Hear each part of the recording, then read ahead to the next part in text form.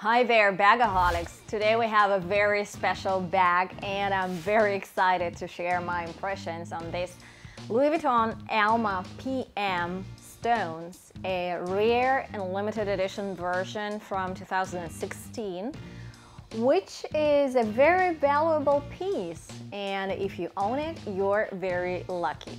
Here's why.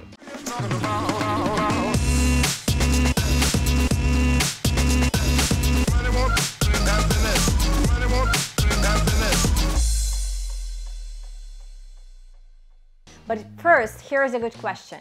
Louis Vuitton releases dozens of limited edition bags every year. I mean, several styles of uh, Speedy, several styles of Neverfull, of Alma, and other styles as well. And uh, some of them are huge. I mean, they are so popular, they're going twice the retail price, three times the retail price, like Speedy Union Jack or Speedy Monogram Flash.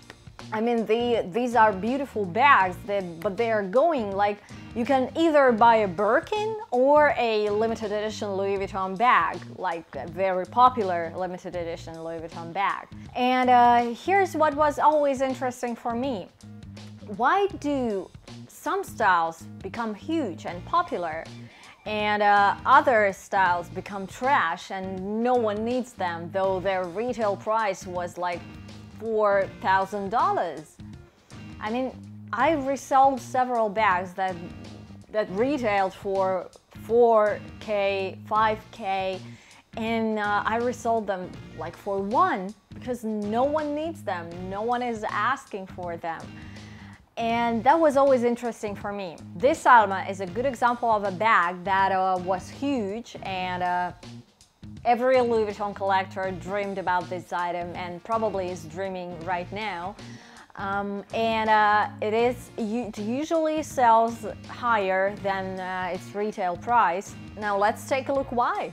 I always thought that there must be something practical about these popular limited editions. I mean, if you're getting a bag for $3,000, you should at least be sure that it's, that it's practical, that you will be wearing it a lot, you will be enjoying this uh, little beauty.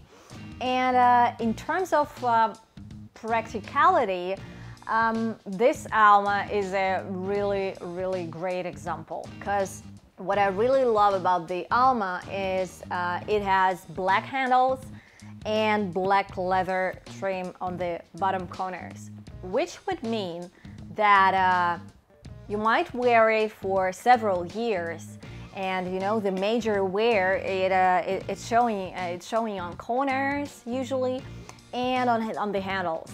In terms of practicality, here's what I love about this Alma. It has black handles and black leather trim. So whenever you have, uh, I had several Almas, and whenever you go out with this bag, the main wear will be showing on the handles and on the corners. With this bag, you can wear it for several months or even years, and no one will notice it. I mean, the handles are dark, the corners might be a little scuffed um, because the, the leather, it's firm, it's sturdy, but I guess if, if, you wear it a lot, of course, of course, the, the corners will show some wear. But uh, you know, it's extremely easy to repair um, the corners, especially if they're black. Uh, you can do it yourself, you can do it in any um, bag spa or any cobblers in your city, in your town, and it will be invisible. It will be looking just like new and uh, you will enjoy it for um, a lot more.